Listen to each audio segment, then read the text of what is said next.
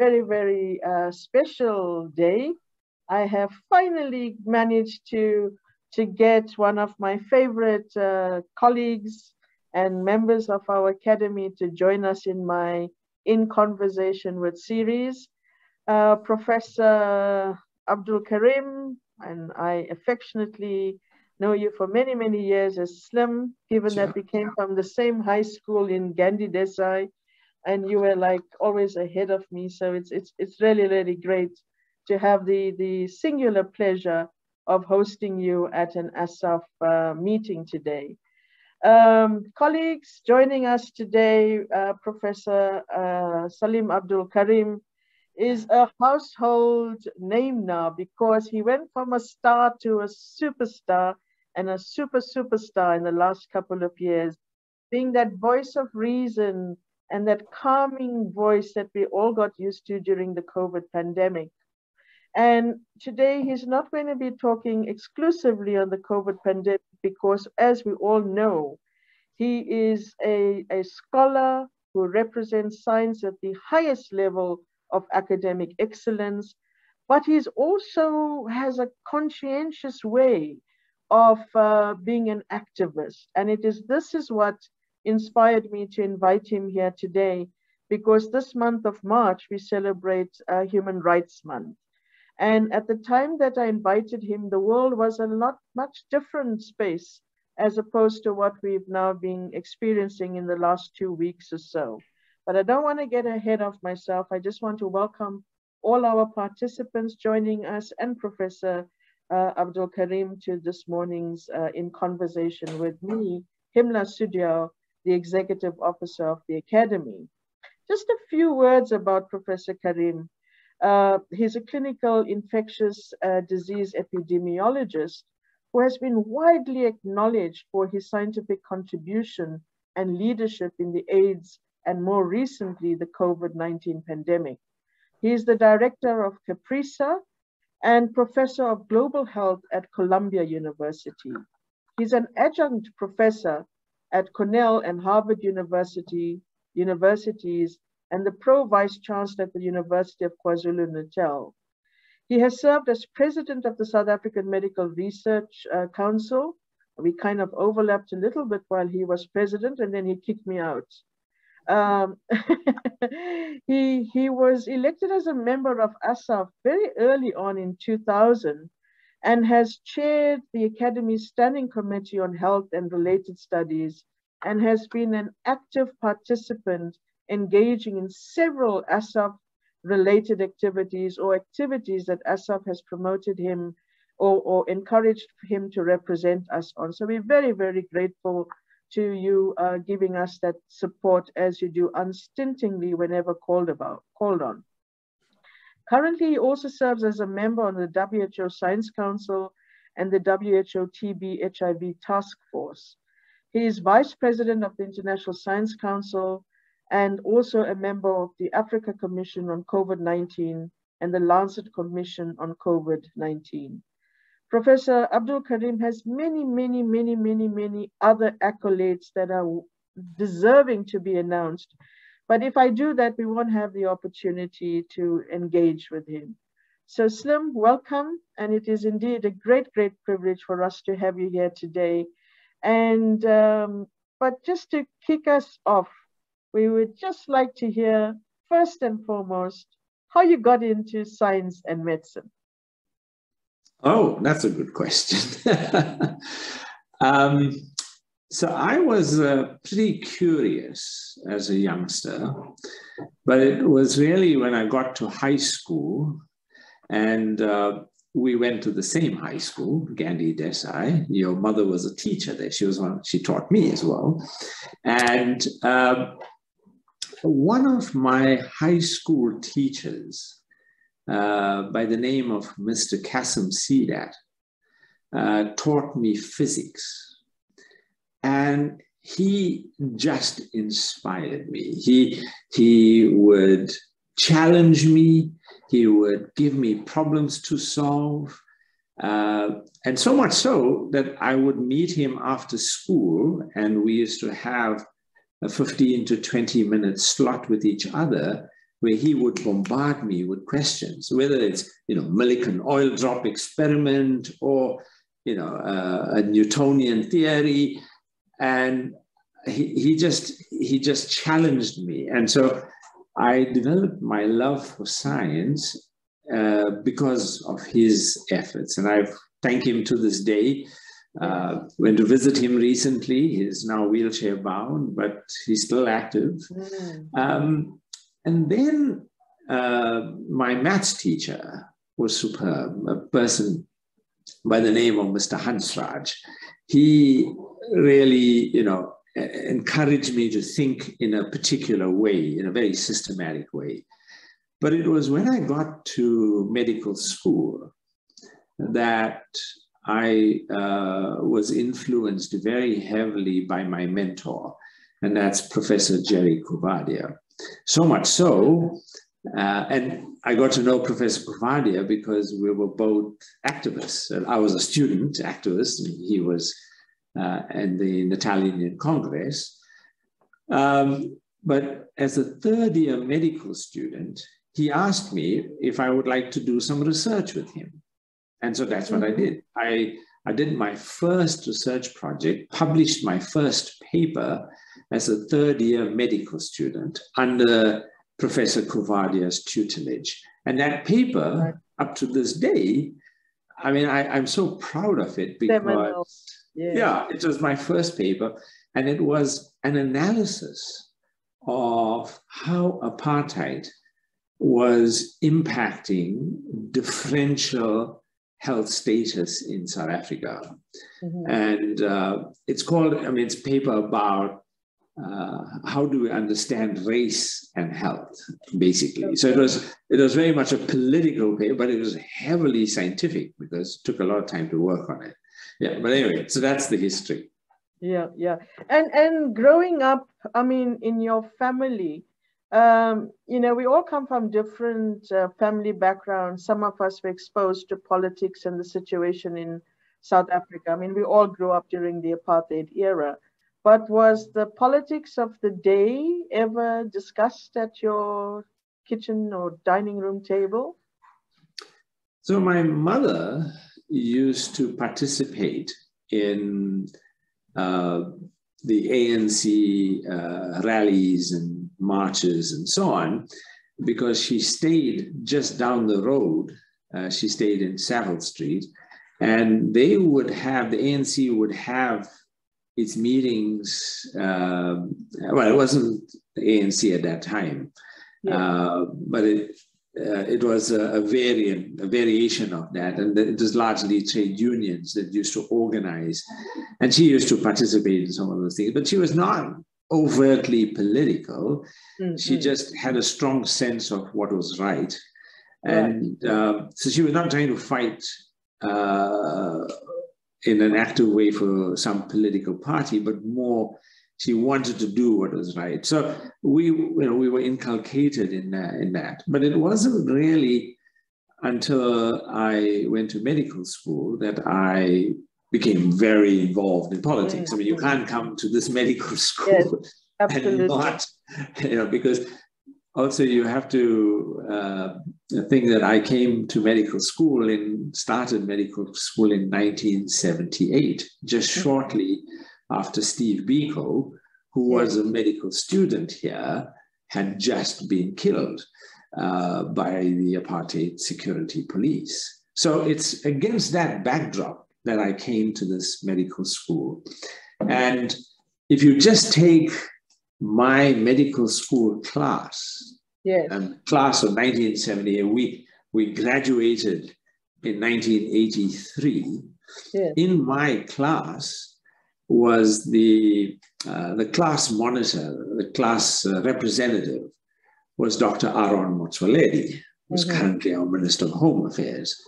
Uh, also in our class was Dr. Joe Phaahla, our current Minister of Health. Mm-hmm. Uh, another member of our class was Dr. Sibong, uh, uh, uh, what is his name? Dr. Cwele, who mm-hmm. used to be the Minister of Spies under, okay. Uh, under um, President Zuma. he was the one whose wife was found to have been dealing in drugs and so on. Right. Siyabonga, really. That's yeah. So I mean, these were all you know. So just from one class, we had three ministers. In, right. It just gives you some idea. And of course, many people in my class were very active in politics. I think for me, the highlight of my life, uh, and I consider this one of the great highlights, not, not a political highlight, but a highlight yeah. of my life, was uh, when I was a medical student. I, uh, I was a junior intern and I asked my consultant if I could go to Cape Town. I was uh, elected as a delegate to the mm-hmm. launch of a new political organization called the United Democratic Front. Mm-hmm. And uh, so I went to Cape Town as a okay. young medical student and was a delegate, attended the launch of mm-hmm. the UDF. And for me, sitting in Mitchell's Plain in that venue, yeah. and it was packed to the rafters. Right? We yeah. All of it. I mean, we were hanging out of any space there was. Yes. And we listened to uh, the Reverend Allan Boesak. Mm-hmm. That man, he, he had us in the palm of his hands. Right. What a powerful orator. Wow. I mean, I, I, felt moved by that occasion. And it, it, forever will remain with me that I was there when the UDF yes. was created. Yes. Oh, that's so, I mean, I'm feeling like that goosebumps because as you're saying that, I'm trying to pick what my turning point moment was, also influenced by others, but it's not about me, it's about you. You've now have almost, you know, four decades of exposure uh, from apartheid to the post-democratic era. And we are celebrating Human Rights Month and Human Rights Day on the 21st of this month. What does human rights mean to you with this collective experience, engagements at different levels, both in your science, in the space of uh, uh, you know the social dynamics and the political arena, both locally and internationally. What does human rights mean to Abdool Karim? So I think uh, when I when I reflect on the use of power, when I reflect on the relationship between any two individuals and the imbalance that exists in the power differential between any two individuals or any individual and an organization, I have a sense of that there has to be a, uh, a fundamental belief system that guides that interaction. Mm-hmm. And to me, the principle of human rights is about ensuring that we can express free will. And the way in which we express that free will has to come with responsibilities. So uh-huh. it's not unfettered. And right. in fact, it's made very clear in our own Bill of Rights, in our own constitution, that any one of our rights is dependent on other rights. You can't, you can't just go and murder somebody because you that's your free will. It impinges that person's rights. So how we understand rights has to be within the context of our society, our responsibilities, and the importance that individuals are given the leeway to express themselves as we do in a democratic society. Now, I'm involved in many human rights organizations, but one of them is Physicians for Human Rights. They won the Nobel Prize yeah. uh, on nuclear war. And in serving on the committee for the advisory committee on know, for Physicians for Human Rights, which is based in New York, we reflect on many issues. But fundamentally, we are reflecting and taking a stand on how society and institutions within society that hold power, how do they relate to healthcare workers? And how do they protect and promote the right, rights of healthcare workers and doctors? And right now, we've just put out a statement on Ukraine, which just points out that you know, within what is going on in Ukraine, healthcare workers yeah. uh, are supposed to be neutral and protected under the Geneva yeah, Convention. Yeah.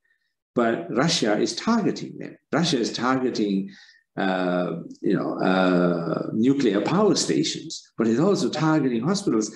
Indiscriminate use of missiles into civilian areas is impacting hospitals.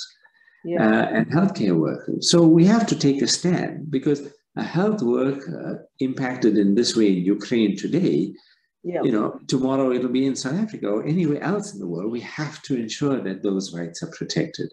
So, as I see it, human rights for me, yeah, ensures that we have a mechanism and a way to serve our society in a way in which we respect everyone and we respect their will and we work with those uh, responsibilities that come with those rights. Wow. I, I, mean, fascinating, fascinating. Now, on that issue uh, relating to healthcare, tell us a little bit about this journey, this controversial journey you've had with the whole HIV and AIDS scenario in South Africa. Well, I, I, have said uh, on a few occasions that when I do write my memoirs, uh, you can be assured there's a whole chapter dedicated to it because it was in many ways surreal. So I was um, uh, involved in HIV right from the start. Um, mm-hmm. I, I, gave my first lecture on HIV because I was a lecturer, uh, a registrar training in virology at the time at the medical school here. And this goes back to 1984, 85, when I started working on my PhD on hepatitis B. but um, when you think about HIV, and you think about the controversies around it, there are so many parallels to what we are dealing with in COVID. I'll give you two examples. The first was in HIV, there was a whole group of people who argued that HIV was actually created by the US CDC and that they put it into the polio vaccine and they went into West Africa and they injected it into Africans.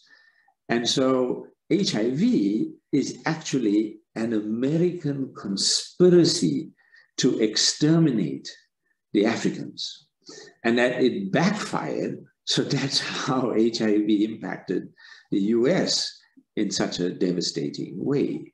So that's the theory. There's a book written about it, by the way, called The River. So it's not, this is not just a loony fringe. There are a whole lot of people who believe this, and the evidence stacked up. So, what was the evidence? Well, the US CDC had African green monkeys that they were doing experiments on. It still does. Yeah. That they had stocks of the simian immunodeficiency virus that HIV is thought to emanate from. They even showed that the CDC bought reagents that would wow. enable them to change the virus and to change its uh, RNA structure. And I mean, I could go on, right? Uh, about because you know the CDC played a key role in the polio immunization programs in West Africa. So you join circumstantial evidence. You join them and make the dots come together. And what you create, you create a conspiracy. Mm. And the more you try to challenge the conspiracy, the more the views harden that this conspiracy must be right. So yes. you can't win when you're arguing with people on a conspiracy theory. And we're facing exactly the same problem now. There's a whole group of people who believe that the University of North Carolina, together with an organization called EcoHealth in the US, got funding from US military or the US NIH and worked with the Wuhan Institute of Virology to actually create this virus from the original SARS. And that they either deliberately released it from the lab or yeah. accidentally it leaked from the lab.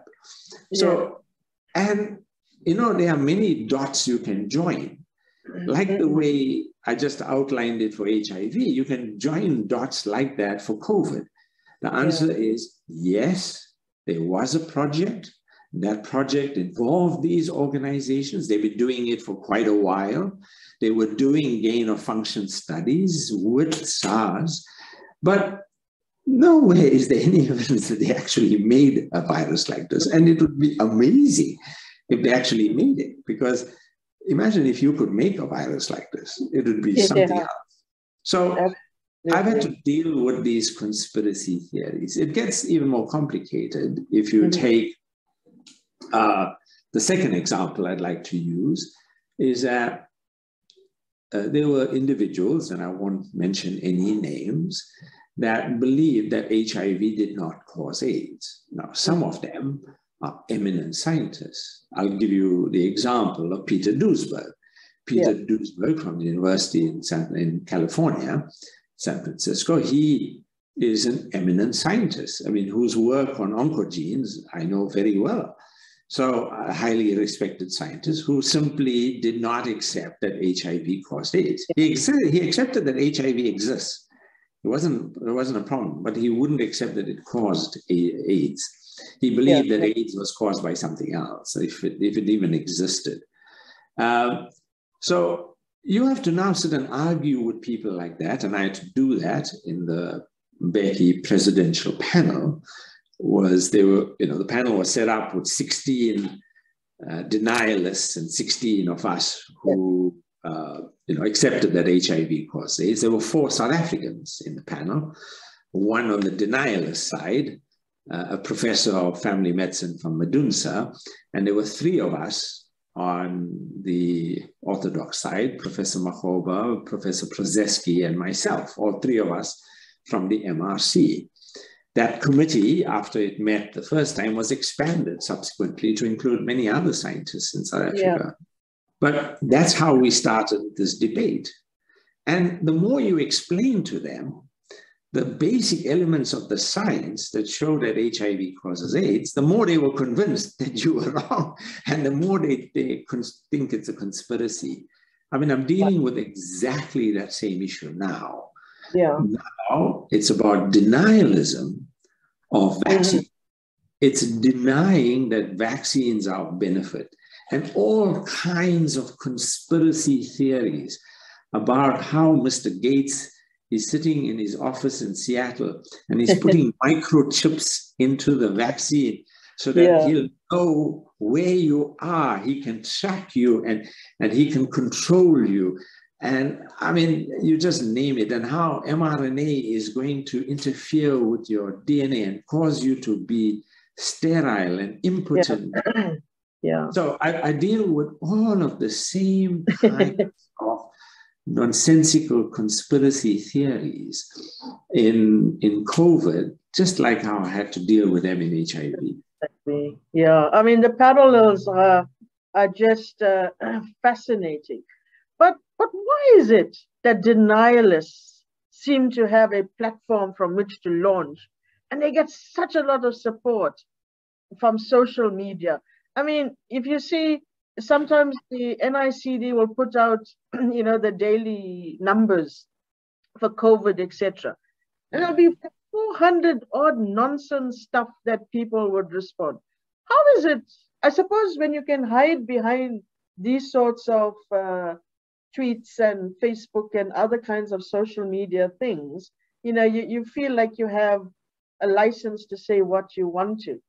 But given that we have such a strong scientific ethos, Uh, and I mean, especially with with COVID, because I think with the COVID pandemic, we were much more engaged, and thanks to people like yourselves, who took the the the complexity of the science and microchipped it, and and gave us sound bites, so that you know everyone around that lounge, sitting and watching you on being interviewed understood. And I mean, I still say the first uh, meeting the department hosted with you, where you broke down the science, I think for me that was an epic uh, uh, positioning of science engagement and science communication.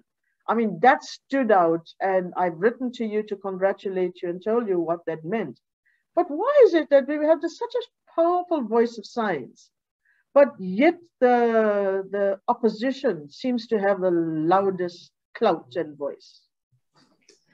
Well, you know, the beauty of democracy is that we can disagree and, and that we, we protect the rights of people who disagree and that we don't have to agree on everything. And in the case of COVID, that is the single most important predictor of how well a country has done.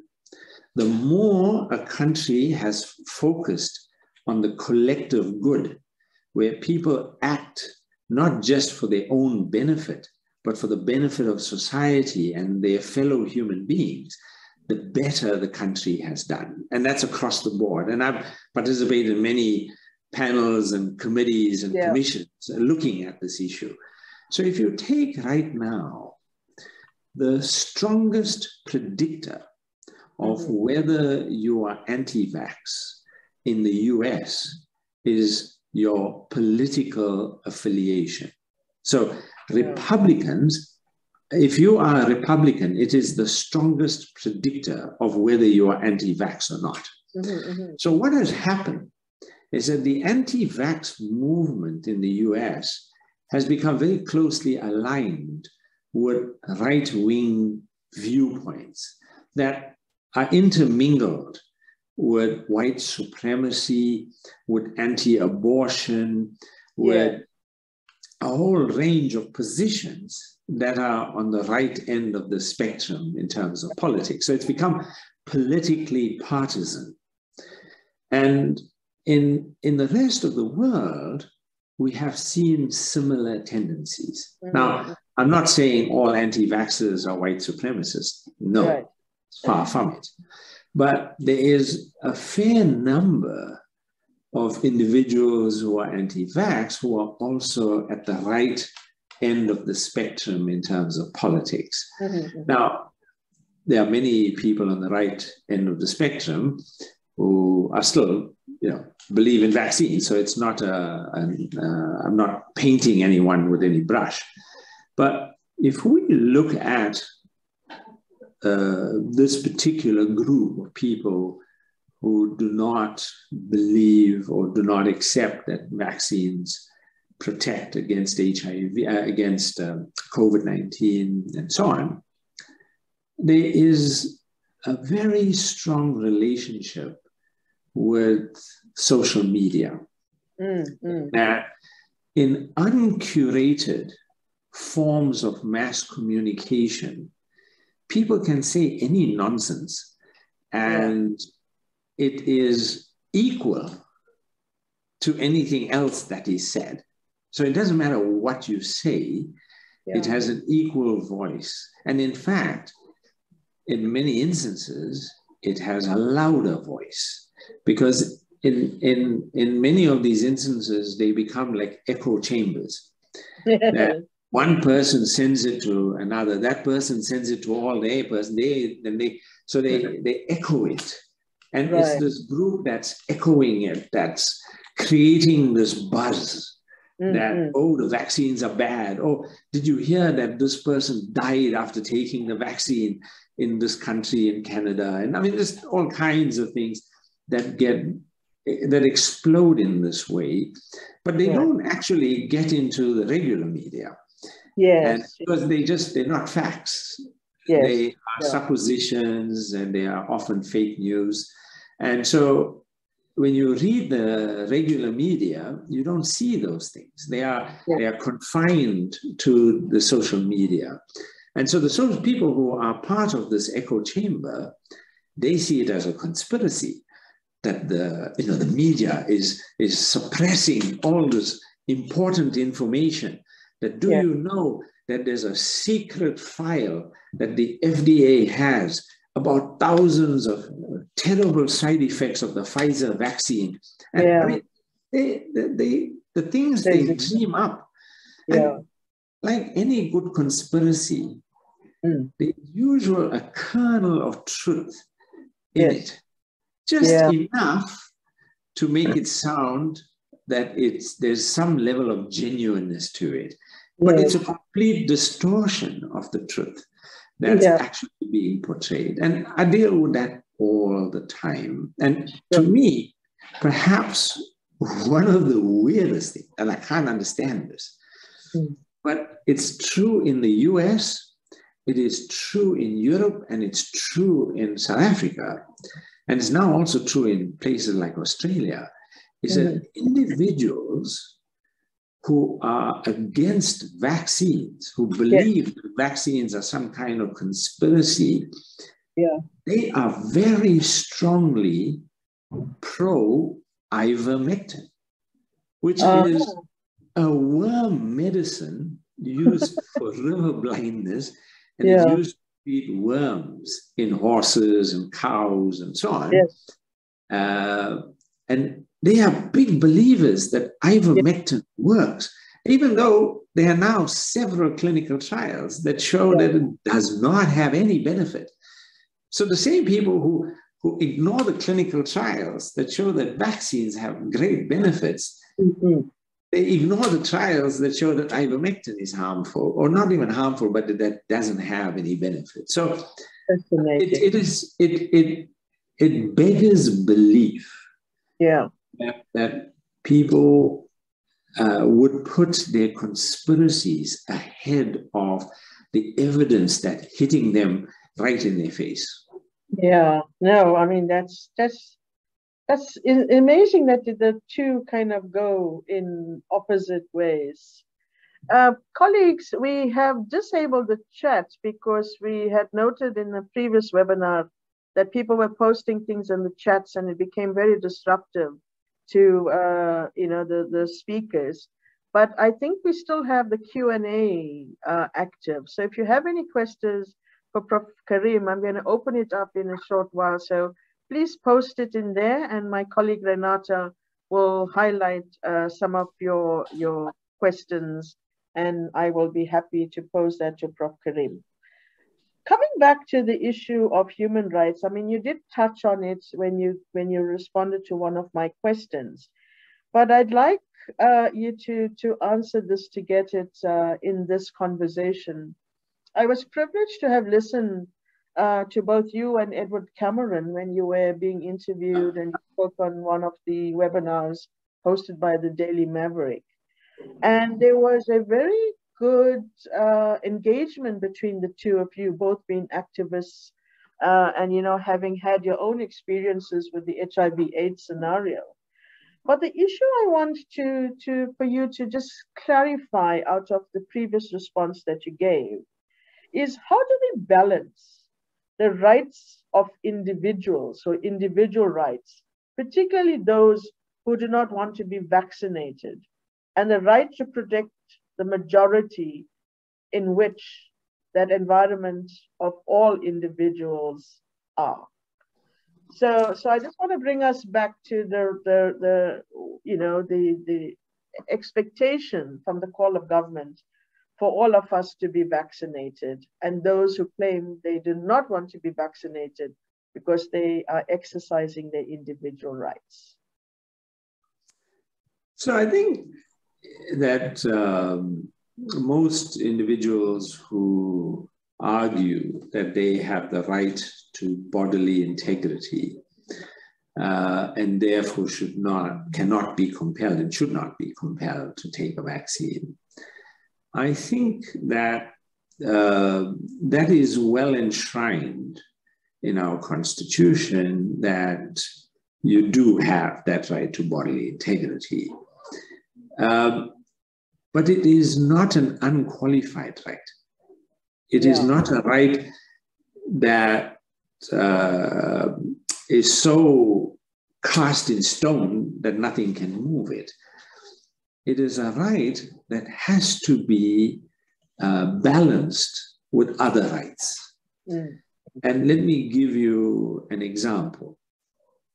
That one of the other rights is the right to life, just the right to life. Now, if I am, as I am, an elderly person, I wouldn't call me elderly. Let's just let's just say I'll talk about somebody else who's. You elderly. can get a SASSA grant. so let's let, let's for argument's sake say the following that here we have a 75 year old grandmother and she is traveling in a taxi, a minibus taxi with you. And you, as a young person, let's say a 30 year old, you've chosen not to get vaccinated. You want to protect your right to bodily integrity. And it happens that in your protecting your right, you haven't been vaccinated, and quite coincidentally, you happen to get infected because Omicron is so infectious, you picked it up. Yes. And that when you picked it up, the vast majority of the transmissions that occur yeah. occur before you get symptoms. Yeah. What is called pre-symptomatic spread. So you don't know you have this virus. Mm-hmm, mm-hmm. You now sit in the minibus taxi next to this grandmother. And in the course of that, you infect her. In infecting her, because of her age, yes. she gets very severely ill. And let's, for argument's sake, say she dies, which she has a high risk of dying, by the way, at that age. Yeah. So now your right to bodily integrity has impacted her right to life. Yes. So you we now have to weigh that up. Yeah. And fortunately, in South Africa, we have a constitutional court that has a mandate to weigh yeah. up in terms of the constitutions, all our, our constitution to weigh up our rights so that we can make a judgment about how we temper rights when they impinge on others' rights. And in my view, there is little question that individuals who choose not to get vaccinated, that their uh, rights and their individual beliefs and rights have to end or be tempered at the point at which it's now impacting other people's rights and is now no longer allowing them to enjoy rights that they uh, have inherently. In that particular case that I argued, let's, let's turn that into uh, so, what if this person was vaccinated? Mm-hmm. The answer to that question is yes, if you're vaccinated, you still have a risk of getting infected because no vaccine is 100% protective. And as we saw with Delta variant and the Omicron variant, there are still a reasonable risk of getting breakthrough infections. But when you get a breakthrough infection, when you've been vaccinated, the risk that you transmit it mm-hmm. to someone else is significantly lower. How okay. much lower? Well, a paper published in the New England Journal of Medicine a few days ago quantifies that. If you have taken two doses of the Pfizer vaccine mm-hmm. and you get infected, yep. you reduce the risk of spreading the virus to yeah. household contacts, contacts in close quarters like uh, transport, contacts at events, and mm-hmm. contacts in office contexts. Yeah. You reduce your risk of transmitting this virus by 68%. Yo. So now, a 75 year old sitting next to you, if you were vaccinated and you did get a breakthrough infection, she now carries a much lower risk that she would get infected. So, yeah. in my view, you could have taken an action that would have protected her right to life. And right. you chose not to do that. Mm-hmm, mm-hmm. Yeah. Look, I'm, t- I'm tempted. I've got a zillion questions floating in my head to ask you on COVID, but that's not the reason why I asked you here. I want us to focus on the yeah. human aspect, given that we're celebrating that. And you would see, I've kind of uh, tailored my questions to you around that issue. um, one of my colleagues uh, said that I should ask you this, and uh, she said, and then I'm just going to quote, we are born without asking for it. What are we entitled to? And the second part of her comment was, how can we ensure dignity for all human beings, for all living creatures, and for our environment? That's a very profound question. I don't know if I have a profound answer to it, but perhaps for me, at its simplest, is that we have been born into an era of society where individual benefit and individual competition and individualism has been placed as the paramount goal in our society, and particularly the accumulation of individual wealth.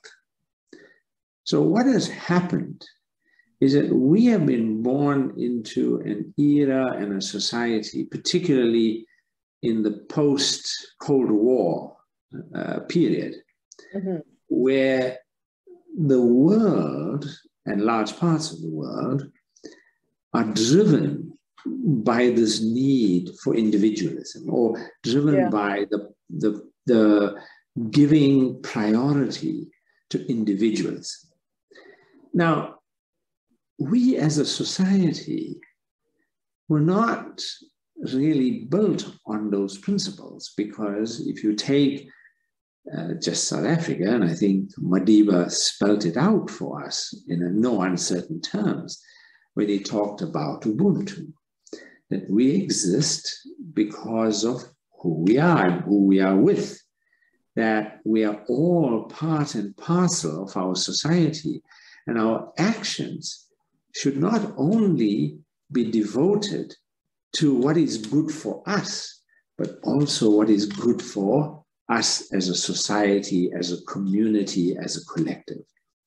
Yeah. Now, in my view, one of the exemplary examples, one of the examples that's really strong that illustrates this is Stokvels. So, and Stokvels were really a way of life until recently. Now it's much less common, but in Stokvels, you have, let's say, 12 families.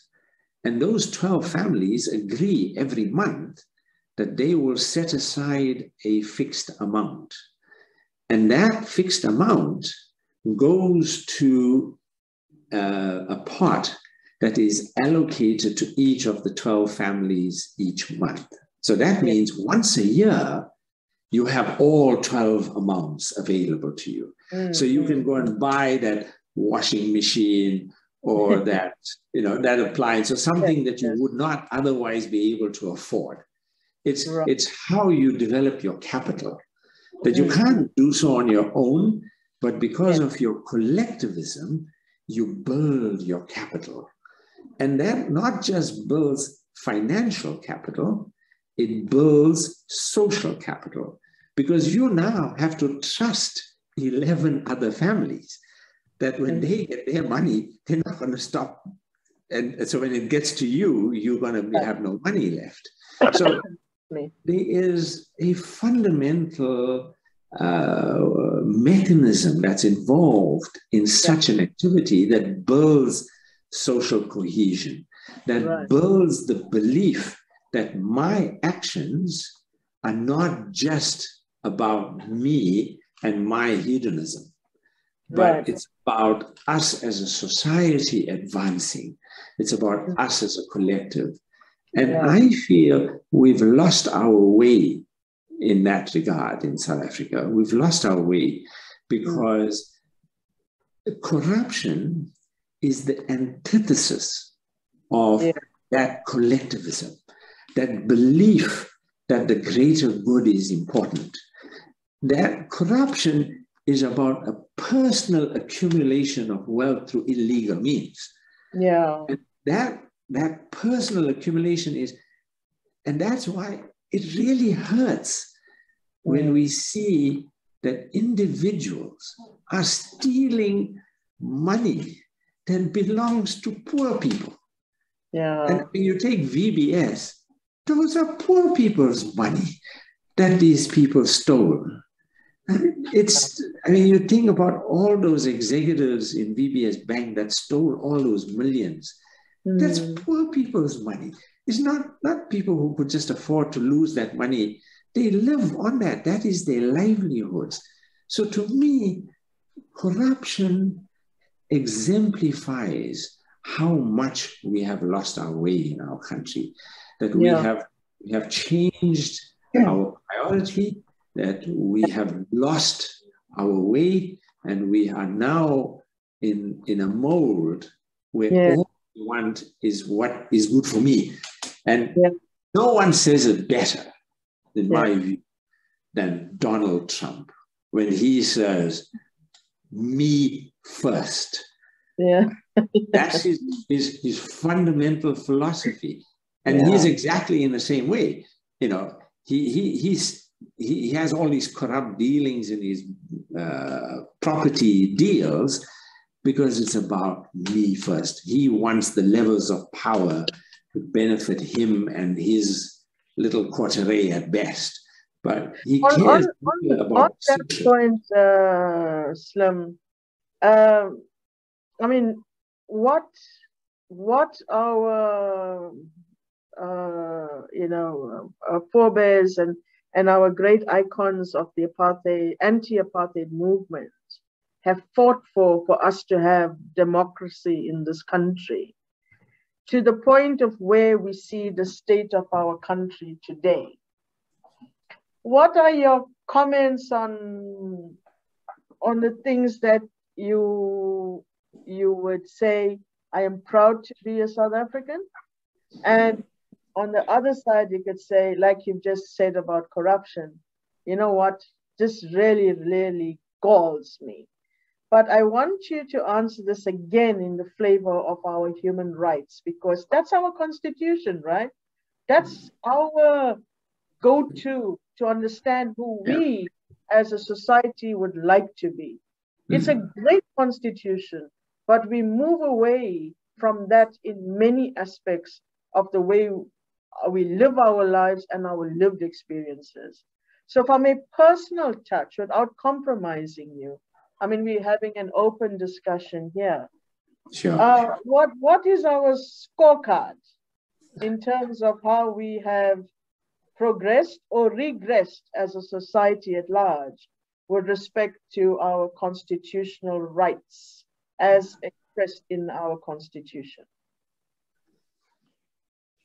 So I think I've um, I've given the negative side, but let me tell you that we live in a great country with great people, with wonderful people. And it's the reason why I live in South Africa. I could choose to live anywhere. Mm. I chose to live here. And I've chosen this place because I am so enamored with who we are. Because when I listen to Zondo, that's not who we are. That's not who we are. There's a group of people who are exploiting conditions for personal gain, but that's not who we are as a country, as a people. We are a country that cares. We care about each other. We care that we want to do what is good. And when I look at that, I mean, I'll give you, I mean, I could give you many examples. Yeah. But when I think back, let me give you a COVID example that I've used before. Mm. I look at, we knew in April of 2020 yeah. that we were going to witness a wave of yeah. infection.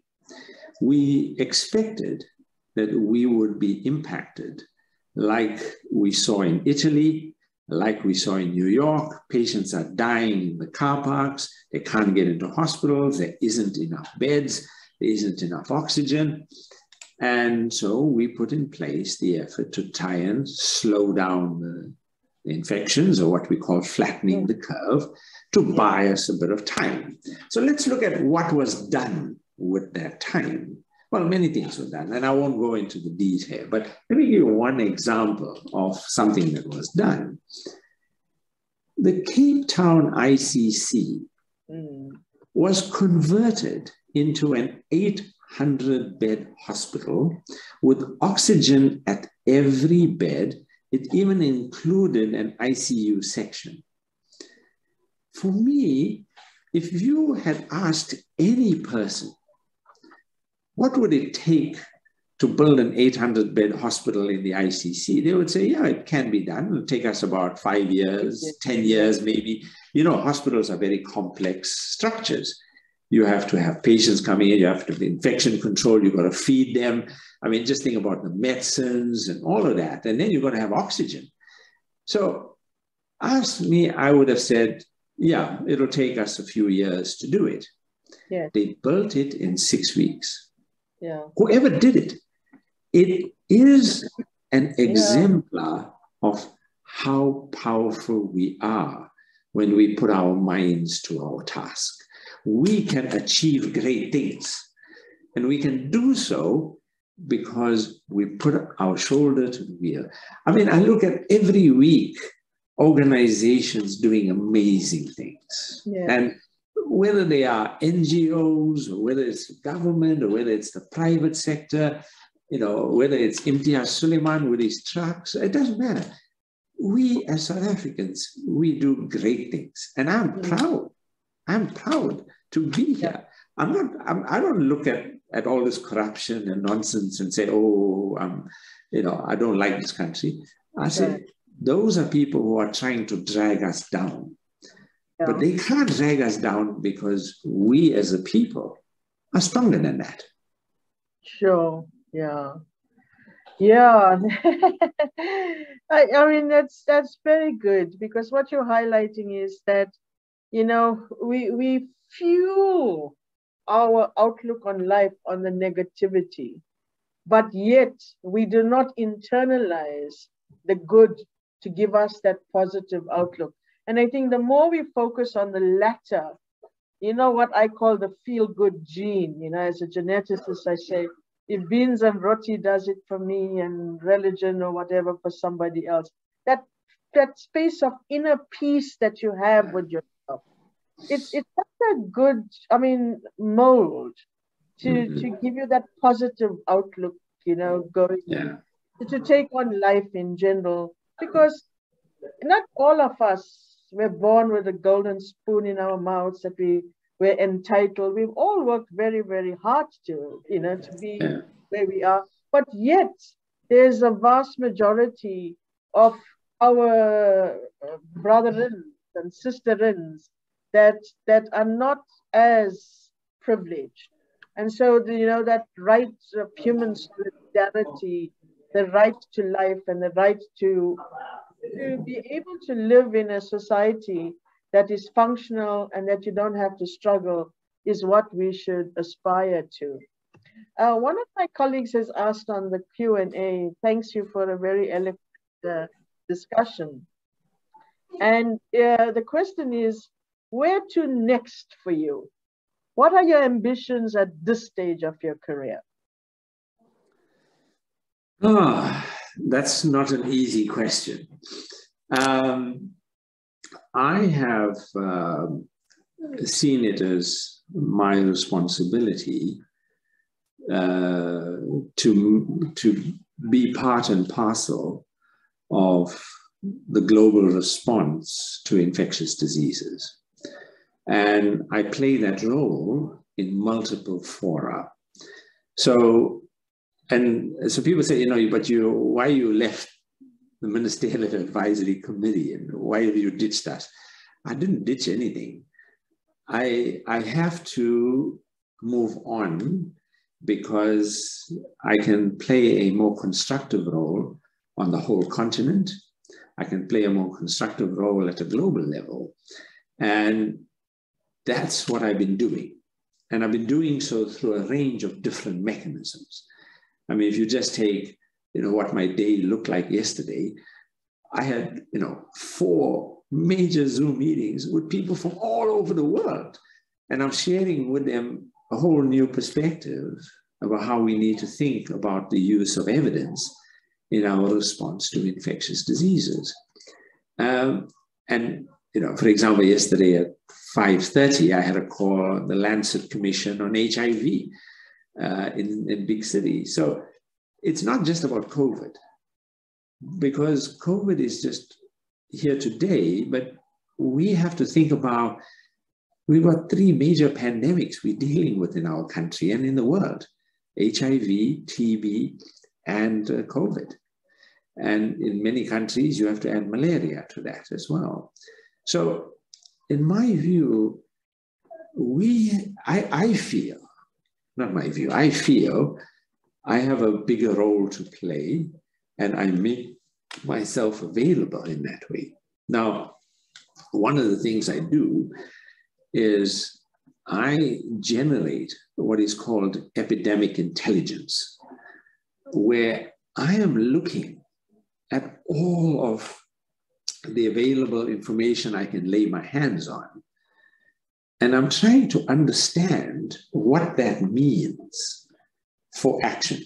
How can that information be converted in a way that it's useful?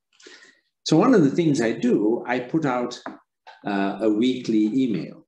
I've been doing that since middle of 2020. It goes to a whole lot of people across the world. It, it you know, it, it, uh, it goes to the uh, uh, scientific committee advising the New Zealand government on COVID 19. It goes to the entire committee in the UK, the SAGE. It goes to the Canadian committee on COVID 19. It goes to a whole lot of places. But it misses me. I don't get it. You gotta well, you gotta just ask. I, I, I make it available. Remember that ASSAf is your first house after your family home. You've got to send it to me so that we could hmm. invigorate our society as well. So don't forget, if there's one thing you do today, is that you add me to that mailing add list. you to the list. But I think for me, it's about using my experience because that's, I mean, I'm no brighter than anyone else.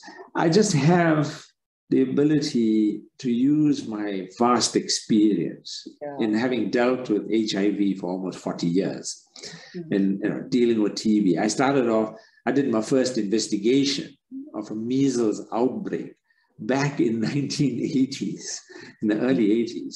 You know, I, I chaired our, our government's polio expert committee. So I've got all that wealth of experience. And that wealth of experience now needs to be, I need to pay back. The yeah. world has given me that opportunity. This is my opportunity to pay back. And I'll, I'll pay it back in yeah. As broad a way to maximize my impact. No, and I mean, we see that. We see that. I know we've hit the time, but could I engage you for another five more minutes? Sure, sure, sure. Okay.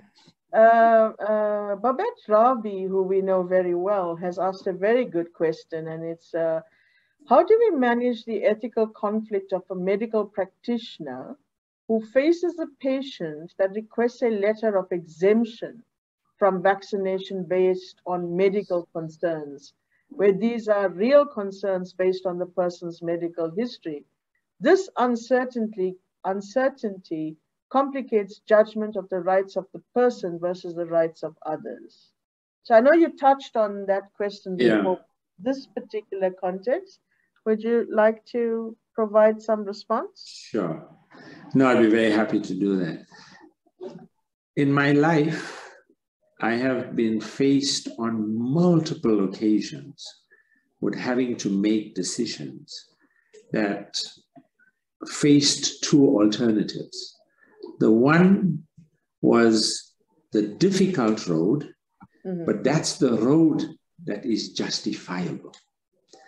Yeah, It's the road based on principle. And the second is the easier road.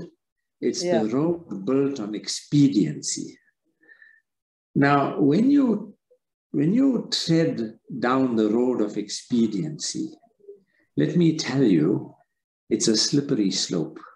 Uh-huh. Because once you enter that road, all you find is expediency. right. But then you have no principles, you have no pillar by which you guide yourself because you go with the wind. Today it's this, tomorrow it's that.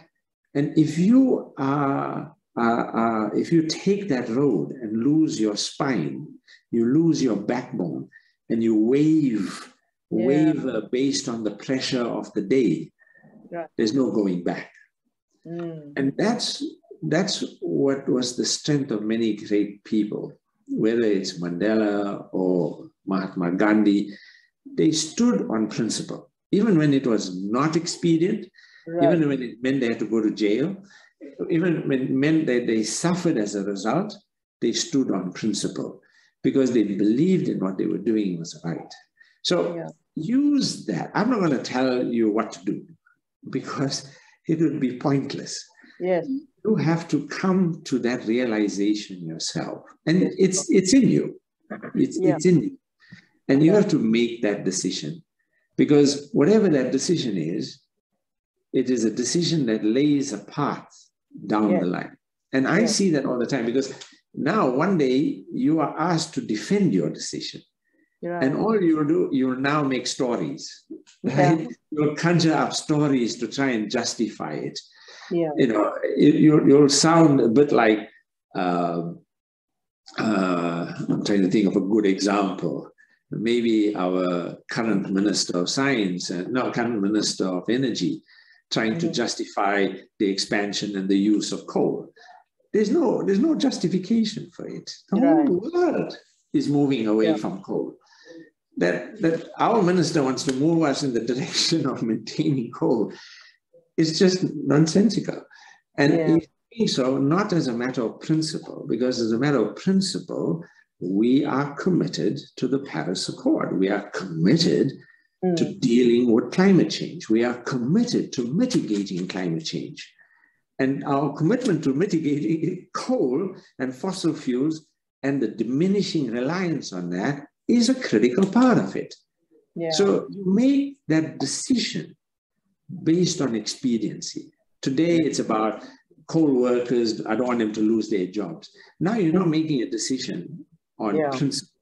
You're making a decision on expedience. And once you go down that road, it's a very difficult road to come back out of. Oh, that's very sound advice.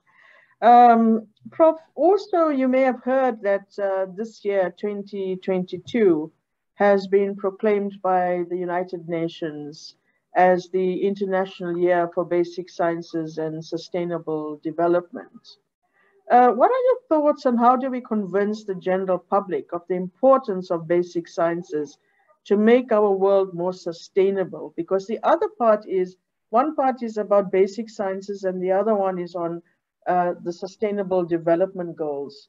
I think COVID has kind of just put us on you know, on that fork that we went into the COVID pandemic and we and, and we haven't kept the, the, the resonance onto the sustainable development goals.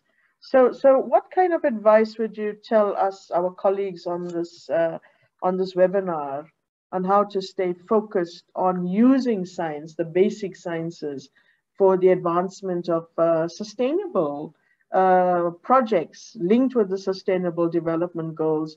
And again, human rights and health and everything fall into that. What are your thoughts? I would be calling on you at some point again for this uh, topic. We have a year for it. The launch is happening on the 8th of July by the UNESCO Secretariat. And there will be a bit of a focus on this at the World Science Forum that South Africa is hosting at the end of the year. But just, just a thought on it uh, before. Yeah.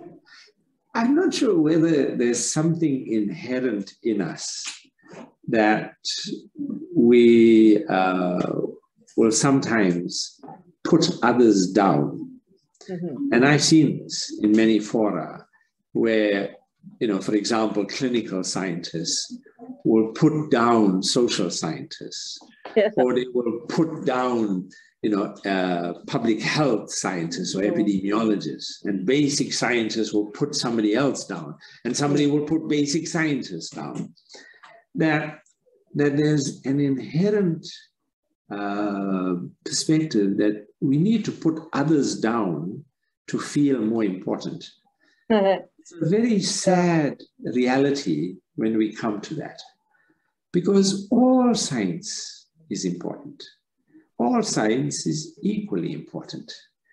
Whether you are a psychologist, whether you are an anthropologist or whether you're a nuclear scientist or uh, agronomist or clinician, it doesn't matter.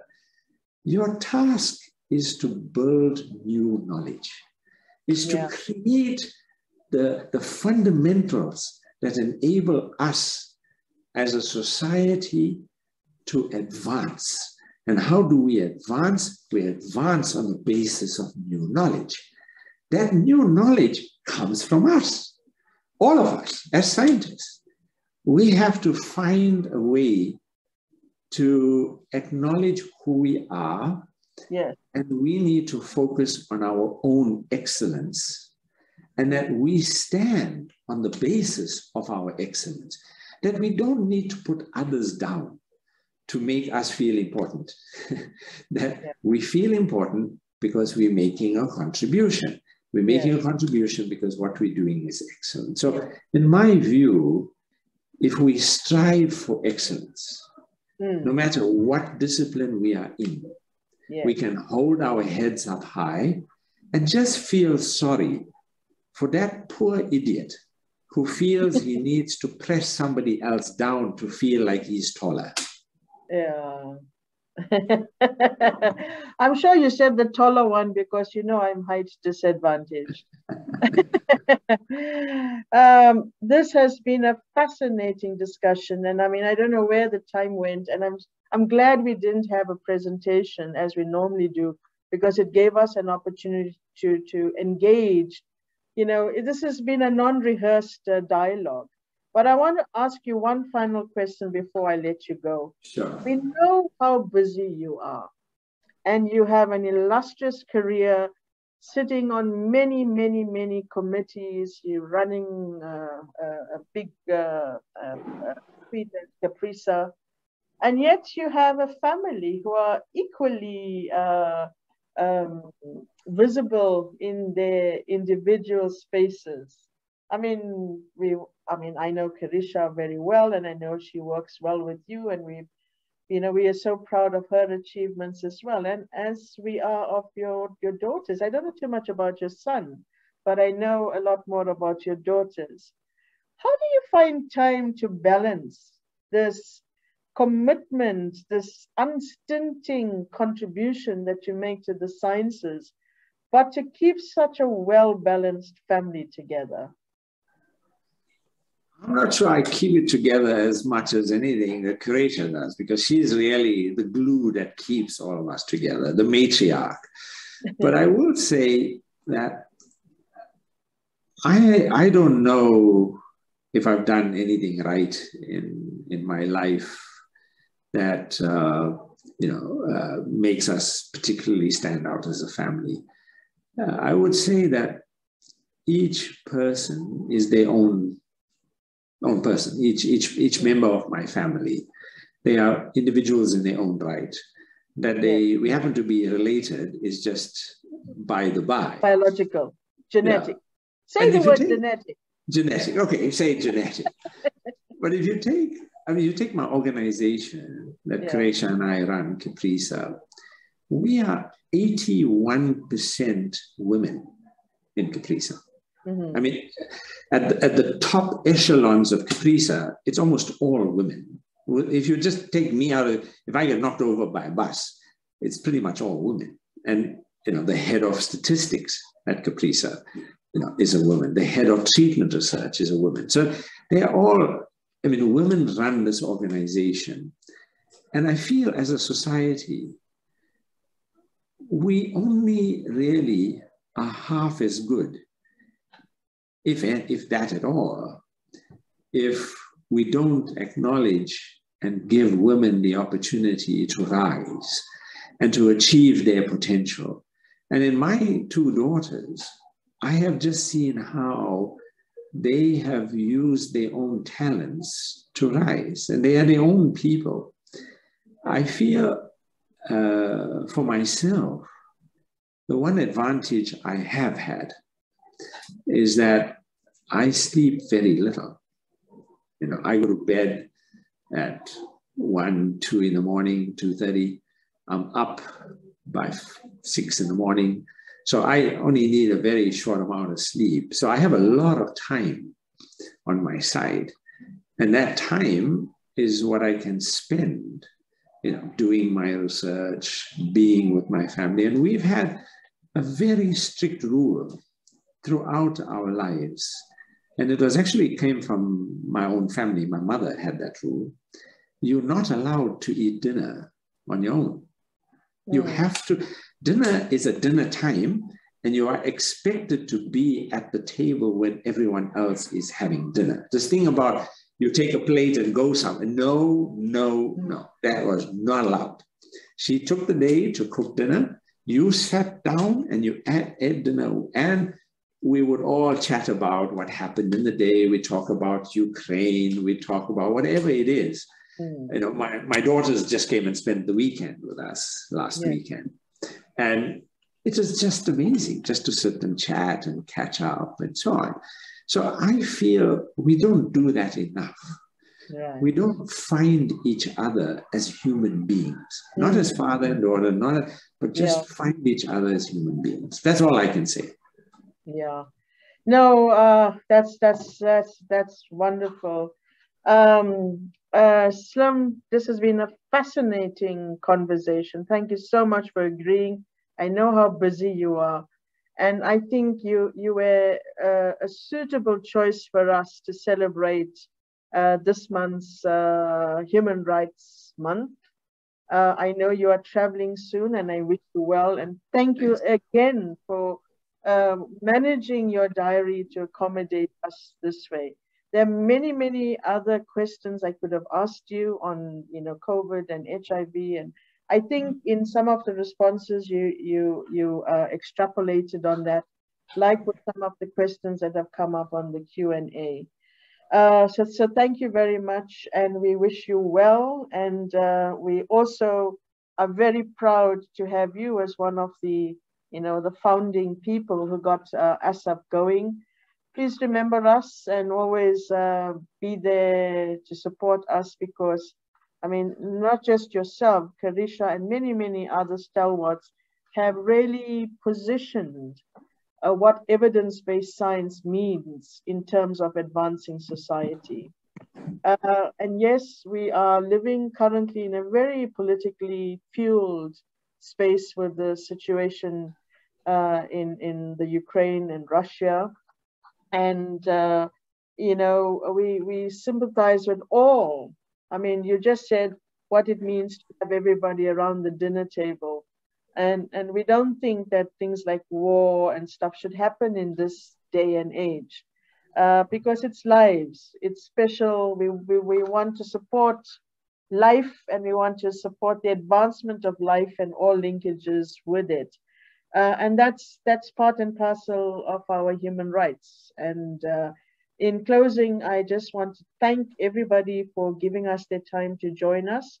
And thank you once again for a few extra minutes to, to, to have this wonderful conversation. We've recorded it. It will be on our social media spaces. So um, all the best to you and uh, thanks again to one and all. All the best. Bye for now. Take care. Bye.